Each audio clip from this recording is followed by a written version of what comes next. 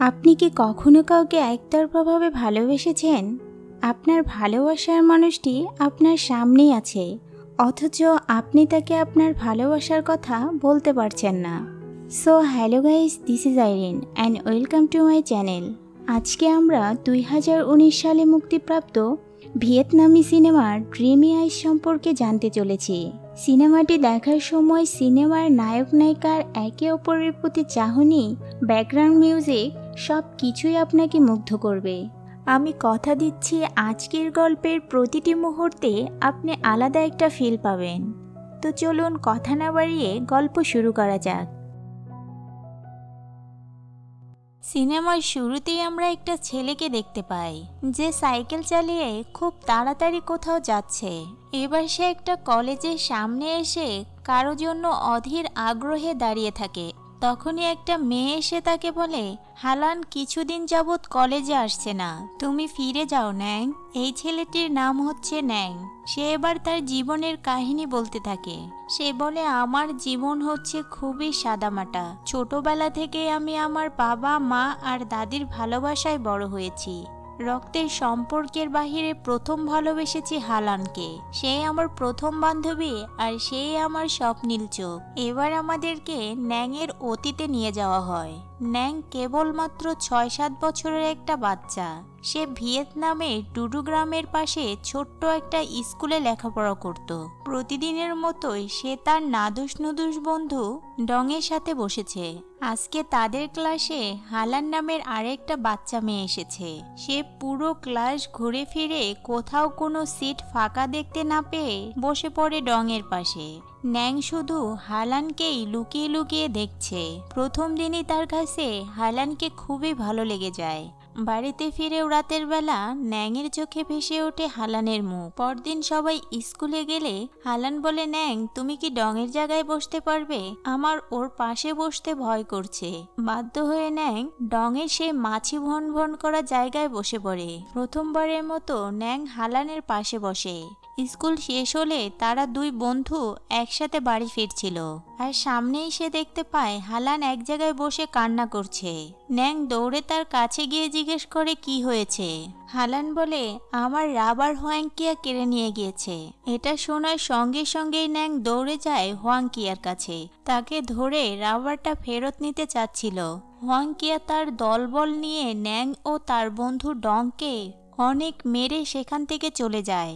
হালাং দৌড়ে তাদের কাছে গিয়ে তাদের সেই কাটাফাটা জায়গাগুলোতে মলম লাগিয়ে দেয় আর এভাবেই তাদের মধ্যে বন্ধুত্ব গড়ে ওঠে। কিন্তু আজ ন্যাং বাড়িতে ফিরতেই তার বাবা তাকে অনেক মার মারে। তারা ছিল খুবই সাদামাটা মানুষ। কারও সাথে ঝগড়া বিবাদ করা পছন্দ করতো না। ন্যাংয়ের মা নিজের ছেলেকে এত মার খেতে দেখেও কিছু বলার সাহস পাচ্ছিল না। কেননা সে নিজেও ন্যাংয়ের বাবাকে অনেক ভয় পায়। এবার ন্যাংকে তার বাবার হাত থেকে বাঁচাতে সেখানে তার দাদি চলে আসে। অন্য সব দাদিদের মতো সেও নিজের নাতিকে বাঁচিয়ে নেয়। ন্যাংয়ের দাদি তার পিছনে মলম লাগায়। আর আস্তে আস্তে সব কিছুই ঠিক হয়ে গেলে ন্যাং ও হালান দুজনে ভালো বন্ধু হয়। তারা তাদের বাজারে সার্কাস খেলা দেখতে যায় আর তারা মেলার ভিতরে ঘোরাফেরা করে।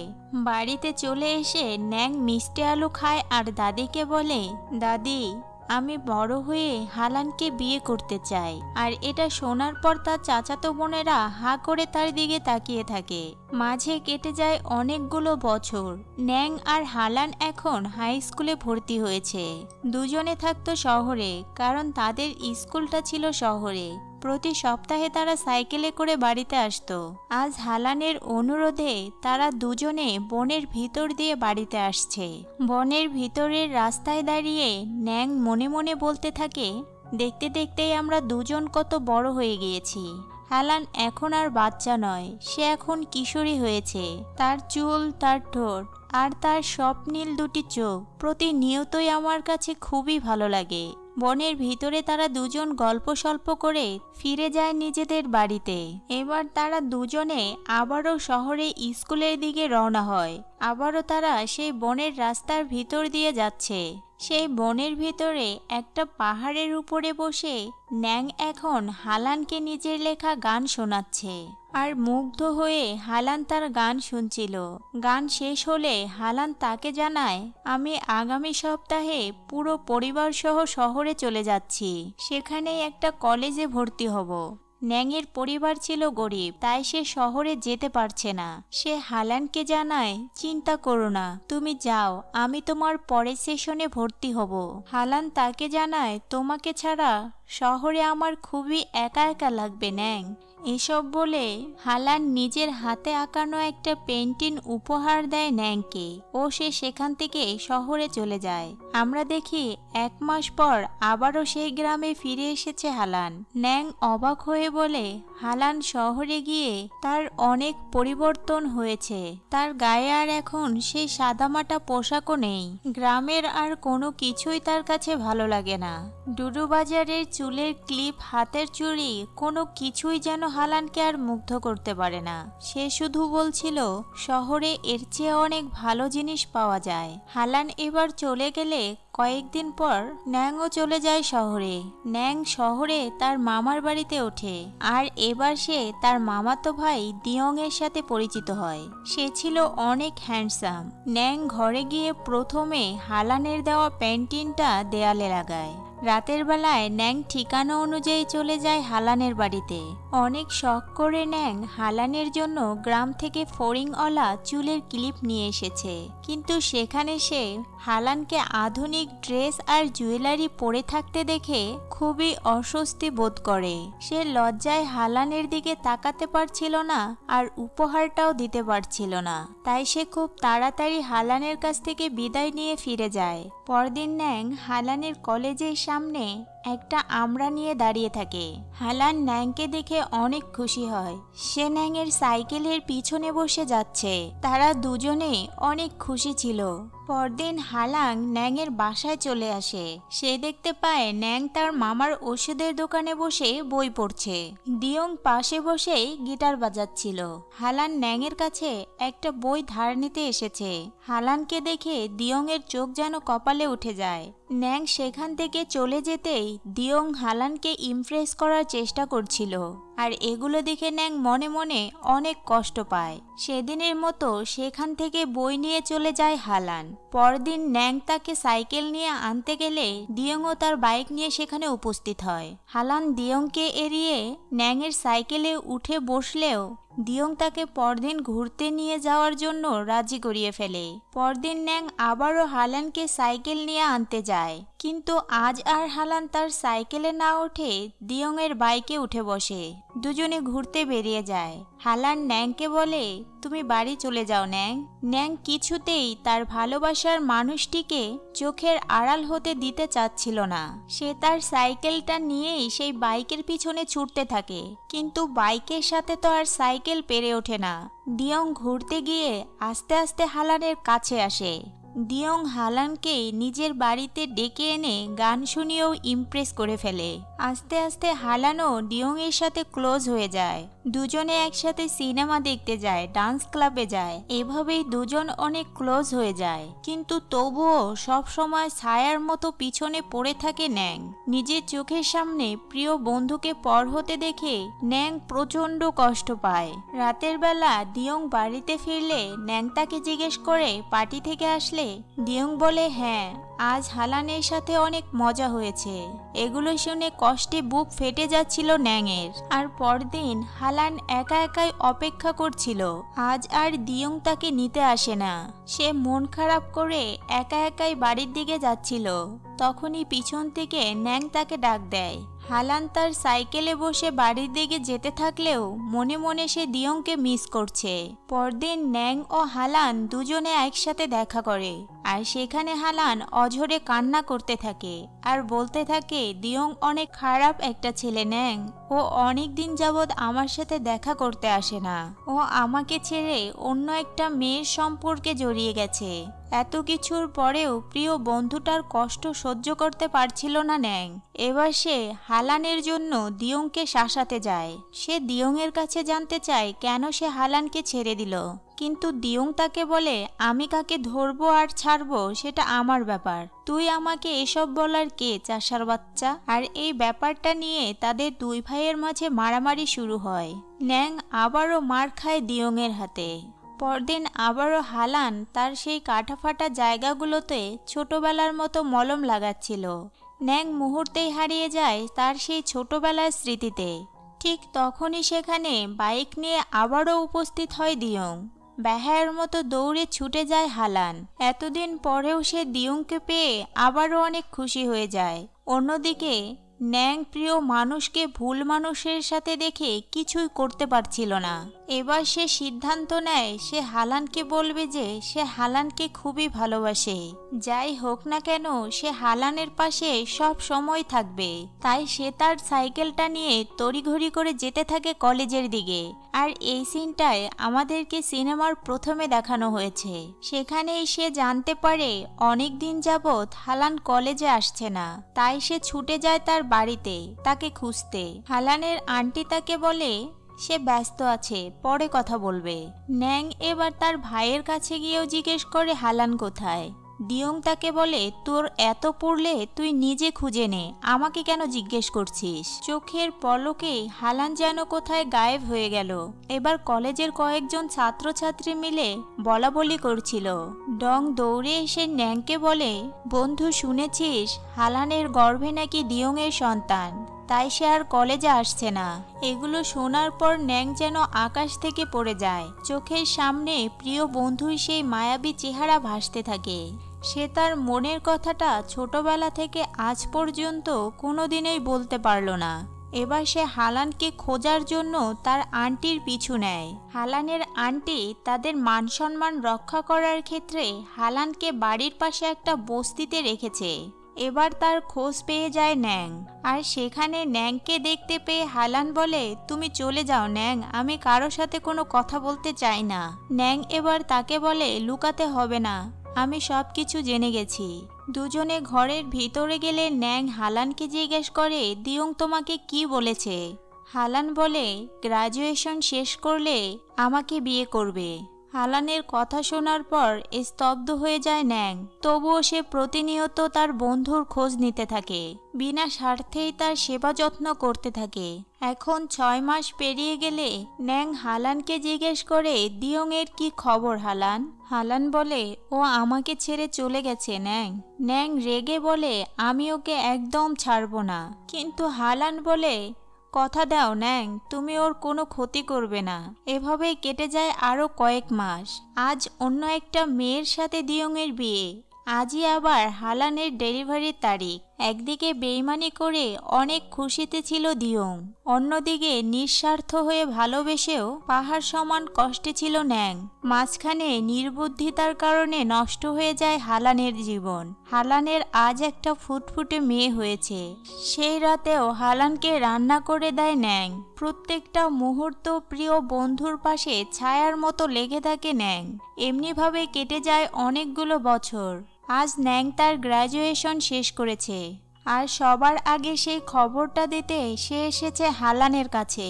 আর সেখানে সে হালানের মেয়েকে না দেখে হালানকে জিজ্ঞেস করে, ট্রালম কোথায়? হালান এবার তাকে জানায়, ওকে ওর নানুর কাছে দিয়ে এসেছি গ্রামে। হালান তার কাছে জানতে চায়, এখন তো তোমার গ্র্যাজুয়েশন শেষ, এখন কি করবে তুমি? ন্যাং তাকে জানায়, ডুডু গ্রামে ফিরে যাব।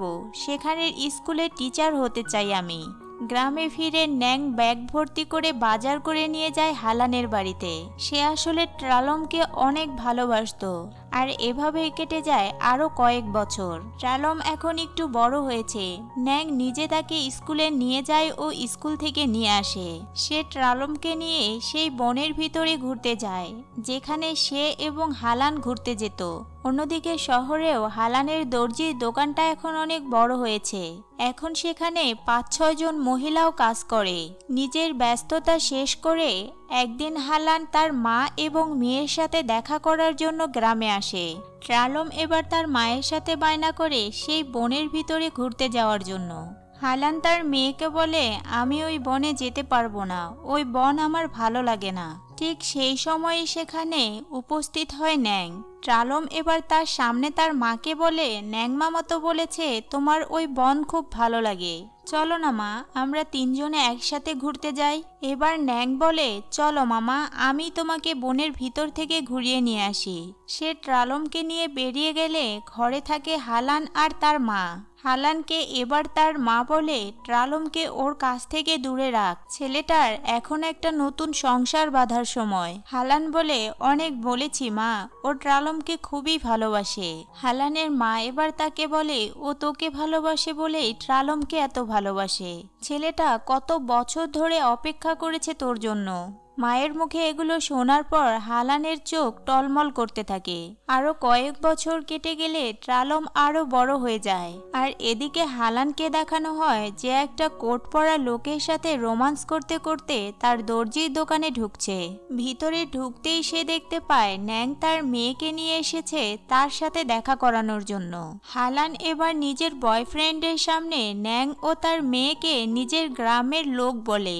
ট্রালমকে নিয়ে ন্যাং সেখান থেকে বেরিয়ে যায়। তখনই ট্রালম তার মাকে ডাক দেয়। আর এটা শোনার পর হালানের নতুন বয়ফ্রেন্ড রেগে সেখান থেকে বেরিয়ে যায়। রাতের বেলা ন্যাং হালানের কাছে গিয়ে দেখে সে বেলকনিতে দাঁড়িয়ে কান্না করছে। ন্যাং তার কাছে যেতেই হালান তাকে জড়িয়ে ধরে বলে, আমি খুবই খারাপ একটা মানুষ, তাই না? ন্যাং বলে, না হালান, তুমি শুধু ডুডু গ্রামে ফিরে আসো। আমি তোমার সব খেয়াল রাখব। এটা শুনে সঙ্গে সঙ্গে সে ন্যাংকে ছেড়ে দিয়ে ঘরের ভিতরে গিয়ে কাঁদতে থাকে। ন্যাং আবারও তার কাছে গিয়ে বলে, আমি, তুমি আর ট্রালম একটা পরিবার হতে পারি, হালান। এবার হালান তাকে জানায়, আমি যখনই ট্রালমের দিকে তাকাই, আমি বুঝতে পারি, আমি আমি কত বড় ভুল করেছি। ঠিক তেমনি আমি তোমার দিকে যখন তাকাই, আমি বুঝতে পারি আমি কত দামি জিনিস হারিয়েছি। তুমি আমাকে ক্ষমা করলেও আমি নিজেকে কখনোই ক্ষমা করতে পারব না, ন্যাং। এবারও ন্যাং হারিয়ে ফেলে হালানকে। এত কষ্টের পরেও সে ট্রালমকে অনেক ভালোবাসে। নিঃস্বার্থভাবে সে ট্রালমকে লালন পালন করে আরও অনেকগুলো বছর। ট্রালম এখন অনেক বড় হয়েছে। তাকেও শহরে পাঠাতে হবে উচ্চ শিক্ষার জন্য। ন্যাং এবার তাকে নিজের সঙ্গে নিয়ে শহরের বাসে উঠিয়ে দেয়। হালানের মতোই ডুডুগ্রাম ছেড়ে চলে যায় ট্রালমও ট্রালম প্রতিনিয়তই চিঠি লেখে ন্যাংকে। তার মনে শুধু একটাই ইচ্ছে, একদিন সে তার ন্যাং মামা আর তার মাকে এক পরিবারে দেখবে। একদিন হালান শহর থেকে তার মায়ের হাতে ন্যাংয়ের জন্য একটা শার্ট বানিয়ে পাঠায়। প্রচণ্ড মাথা ব্যথায় শুয়েছিল ন্যাং। আর সব সময়ের মতো তার পাশে থাকে তার স্কুলেরই একজন শিক্ষিকা, আজ সে আবার একটা শার্ট কিনে এনেছে ন্যাংকে উপহার দেওয়ার জন্য। ন্যাং তাকে বলে, আমায় মাফ করে দিও, প্লিজ, আমি এটা নিতে পারব না। মেয়েটি বলে, হালানের জন্য, তাই না? সঙ্গে সঙ্গে মাথা নিচ করে চুপ হয়ে যায় ন্যাং। অনেক কান্না করতে করতে মেয়েটি বলে, জানো ন্যাং, আমি শুধু তোমার জন্যই এই ডুডুগ্রাম ছিঁড়ে যায়নি তিরিশ বছর ধরে আমি তোমার জন্যই কাউকে বিয়ে করিনি। আর আজও তুমি আমাকে ফিরিয়ে দিলে। এগুলো বলেই কাঁদতে কাঁদতে সে বেরিয়ে যায়। ন্যাং মাথা নিচু করে শুধু অনুশোচনা করতে থাকে। আরও কয়েক বছর কেটে গেলে আজ ট্রালম বাড়ি ফিরছে তার উচ্চশিক্ষা শেষ করে। ন্যাং তাকে আনতে গিয়েছে। ন্যাং তাকে সঙ্গে নিয়ে ফিরে আসে সেই চিরচেনা ডুডুগ্রামে। ন্যাং ট্রালমকে সঙ্গে নিয়ে বাজার করে। ট্রালমও তার জন্য অনেক সুন্দর করে রান্না করে। দুজনে একসাথে বসে খাওয়া দাওয়াও করে। সে এবার তার মায়ের কাছে আসে আর তাকেও সে রান্না করে খাওয়ায়। তার মাকে সে জিজ্ঞেস করে, মা, ন্যাং মামা এখনও একা কেন? হালান জানায়, উনি খুব ভালো মানুষ তো মা, তাই উনি ওনার যোগ্য কাউকে খুঁজে পায়নি। ট্রালং তার ন্যাং মামাকে নিয়ে আবারও সেই বনে ঘুরতে যায়। তাকে টেনে নিয়ে যায় সেই পাহাড়ে। বলে, আমাকে তুমি সেই গানটি শোনাবে যেটা তুমি আমার মাকে শুনিয়েছিলে? ন্যাং এবার ট্রালমের চালচলনে অসামঞ্জস্যতা দেখতে পায়। ট্রালম তার ক্লোজ হওয়ার চেষ্টা করলে ন্যাং সঙ্গে সঙ্গেই উঠে ফিরে যায় তার বাড়িতে। এবার ট্রালমও সেখান থেকে ফিরে যায়। রাতের বেলা ন্যাং সিদ্ধান্ত নেয়, সবাইকে ভালো রাখতে সে নিজেই চলে যাবে। সে ট্রালমের জন্য একটা চিঠি লেখে। চিঠিতে ন্যাং লিখেছে ট্রালম আমি চলে যাচ্ছি। চলে যাচ্ছি এই ডুডু গ্রাম ছেড়ে। কিন্তু তুমি এই গ্রামেই থাকবে, আমাকে কথা দাও। আর আমার প্রতি তোমার ভালোবাসা নিতান্তই অকৃত্রিম আর খাঁটি। কিন্তু ট্রালম মানুষের এই ছোট্ট হৃদয়ে একবার যদি কাউকে ঠাই দিয়ে দেওয়া হয়, তাহলে আর কোনো জায়গায় ফাঁকা থাকে না, অন্য কারও জন্য। আমি আমার হৃদয়ের সবটুকু জায়গা শুধুই তোমার মাকে দিয়ে দিয়েছি। আমাকে কেউ বাধ্য করেনি এই গ্রাম ছেড়ে যেতে। আমাকে কেউ বাধ্য করেনি শুধু হালানকে ভালোবাসতে। ট্রালম কান্না করতে করতে চিঠিটা তার মাকে দেখায় আর বলে, মা, উনি শুধু তোমাকেই ভালোবাসে, মা। জানো মা, উনি সব সময়ই বলতো, জীবনে দুটো জিনিস কখনোই ছেড়ে দিতে নেই। এক নম্বর হচ্ছে বাড়ি ফেরার শেষ গাড়িটা, আর দুই নম্বর হচ্ছে যে তোমাকে সবচেয়ে বেশি ভালোবাসে তাকে। তুমি ন্যাং মামাকে এভাবে হারিয়ে যেতে দিও না, মা। এবার আমরা দেখি ন্যাং গ্রাম ছেড়ে চলে যাওয়ার জন্য ট্রেনে উঠে বসেছে। অদ্ভুত এক পিছু টান ছিল মেয়ের মতো ট্রালমের জন্য, আর অসমাপ্ত ভালোবাসা ছিল সেই গ্রামের জন্য। আর হারিয়ে ফেলা সবচেয়ে প্রিয়জন হালানের স্মৃতি। সবকিছু ভেবে কান্নায় ভেঙে পড়ে ন্যাং। ট্রেন ছেড়ে দেওয়ার সঙ্গে সঙ্গেই বাহিরে স্টেশনে দৌড়তে থাকে হালান। হালান নিজের সবটুকু শক্তি দিয়ে ট্রেনকে ধরার চেষ্টা করে। কিন্তু সেটা কি আর সম্ভব? ট্রেন ধরতে না পেরে হালানের মনে পড়ে যায় ন্যাংয়ের সেই কথা। বাড়ি ফেরার জন্য শেষ গাড়ি আর ভালোবাসার মানুষ কখনোই ছেড়ে দিতে নেই। আবারও প্রাণপণে দৌড়তে থাকে হালান। অন্তরের শেষ আকুতি দিয়ে ফিরে পেতে চায় ন্যাংকে। কিন্তু হালান সত্যি অনেক হতভাগ্য। ঘরে ফেরার শেষ গাড়ি আর সত্যিকারের ভালোবাসার মানুষ কোনোটাই সে ধরে রাখতে পারে না। ট্রেন চলে যায় এক চুরমার হওয়া খাঁটি হৃদয়ের মানুষকে নিয়ে। আর পিছনে ফেলে যায় এক হতভাগীকে। সিনেমাটা এখানেই শেষ হয়ে যায়।